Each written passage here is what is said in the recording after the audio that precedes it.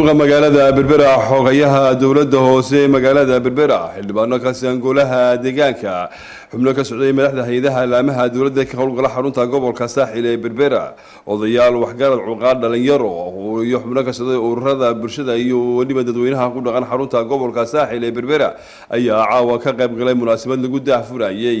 Dhismaha cisbitaal cusub oo loogu talagalay dadka maskaxda wax ka qaba in wax loogu qabto oo laga dhisayo tuulada xabaalo tumaalood. Ugu horreynna hadalkaasi ay ka soo jeed maamo maxamed cumar oo gudoomiyaha ururka maamon foundation ayaa waxa ay ka warantay hawshaasi iyo sidii ay ku timiye qorshaha ku talagalkooda ay cisbitaalkaasi ku dhisayaan. Marka maanta daahfurkan waa daahfurkii labaad. Daahfurkii hore hargeysaan ka sameynay wiil ka hor.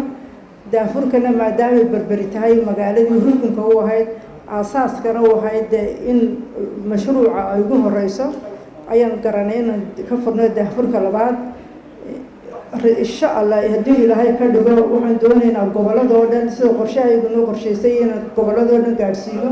Laakiin nasiib waxaa horay berbera ayaa qaybtii koowaad wejigii koowaad nasiib heshay iminka sawirkii halkaa laga soo bandhigay nashqada runtii nashqadan sameynayna ahayd laakiin haddana waxaa naga soo gudagalay waxaan ku tashanaan isku afgaranay inaan dumar keliya ka dhigno wejiga koowaad marka hadda bilowgeego waa dumar keliya xarun dumar oo keliyaan sameynaynaa wejiga labaad ayaan ku daraynaa insha allah ragga.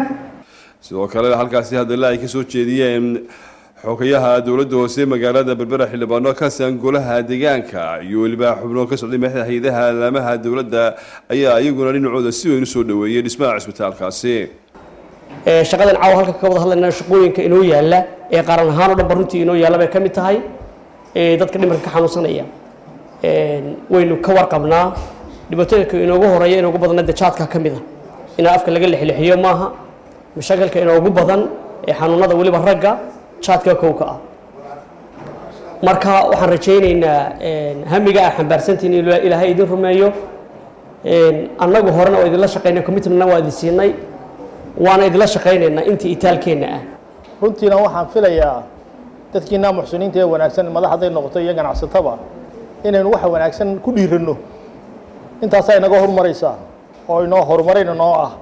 Runtiina gobolka markaan eegto maalin laweytolo wasiirka maaliyadda aan la joogay wuxuu sheegay in miisaaniyadda ay ugu dareen dadka dhimirka in dowladdu kafaalo qaado oy beersant fara badan oo waliba imika lacag badan loo hayo ugu dambeyntiina duqa magaalada berbera cabdishakuur maxamuud xasan cidin ayaa isaguna ka waramay hawshaasi islamarkaasina ku hambeeliyeyey haweenka. Isxilqaamay ee hawshaasi wax ka qabanaya iyaguna waxa uu sheegay dowlad hoose ahaan inay dhulkiina siiyeen islamarkaasina ay wax badan diyaar u yihiin inay la qabtaan. Waxaa quruxda badan halkaa ummadda u soo bandhigteen ilaahay subxaana watacaala ilaahayna haidinku asturo. Ilaahayna dadkiisa haidii sakhiro.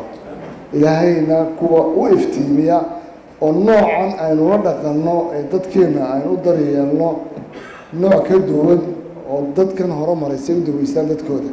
Marka ilaahay baynu baryaynaa ilaahay baynu noqonaynaa qofku ma kasta oo ilaahay ku xidhnaado. Badbaada noloshiisa waa dibadda weeyaan. Markii ugu horreysay cisbitaal kale oo maskaxda ah laga yabaho in laga dhisayo guud ahaanba deegaanada gobolka saaxil. Cabdisalaan xariisho cosmaan t v-ga qaranka somalilan berbera